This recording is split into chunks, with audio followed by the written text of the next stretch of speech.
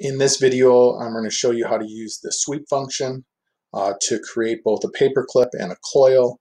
Uh, so when you do your own designs that you're going to have some options of different tools that you can use to uh, create your personal design. So I'm going to come up here to the sketch and I'm going to sketch out a paper clip.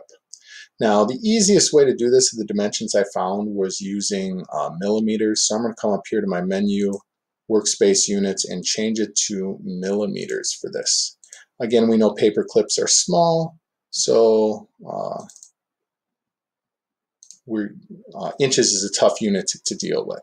So I'm going to start with a 24 millimeter line. Again, I did my research on this and found that this is the dimensions of the paper clip, so I'm not doing this off the top of my head. I'm going to do a radius of an arc five millimeters. I'm going to come back and grab my line tool and I'm going to draw a 31 millimeter line. My arc tool again.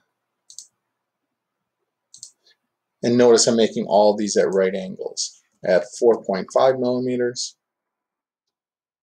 I'm going to choose that line tool, that straight line at 22 millimeters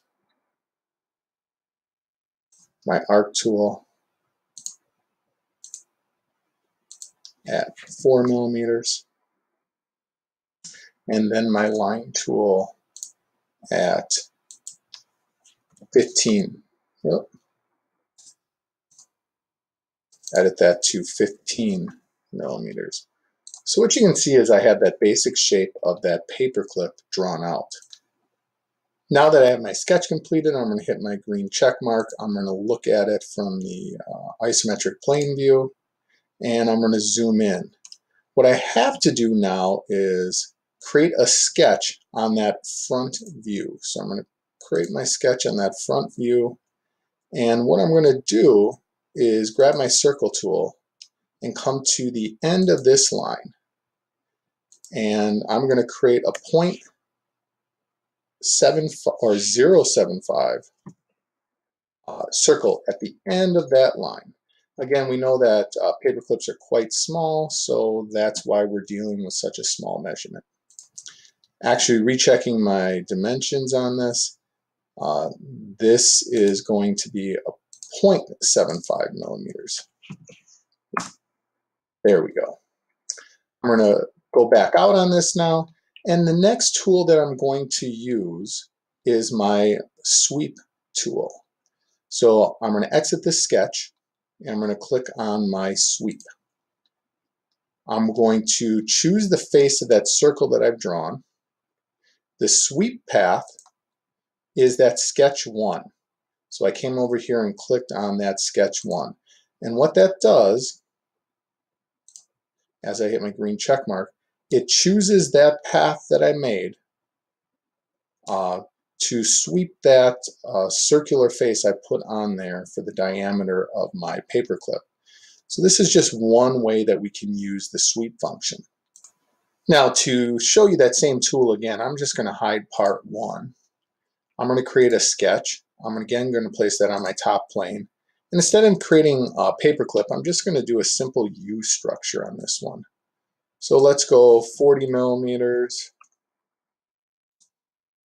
Let's do uh, arc of 20 millimeters. And again, closing this out, let's do 40 millimeters. Again, I'm mixing my geometry with my dimensions. That's why I got my error. So again, I can close this sketch out. I can go back to my orientation cube. I'm going to place a sketch again on that front plane. And what I want to do is create that circle at the edge of that line there again. And let's go to 5 millimeters. I can green check mark that. Now, again, I'm just going to that sweep function. I'm going to choose my face there and my sketch 4 which is my sweep path. Maybe not. I'll click on it in here on my sweep path. And I can choose each individual segment of my line, giving me again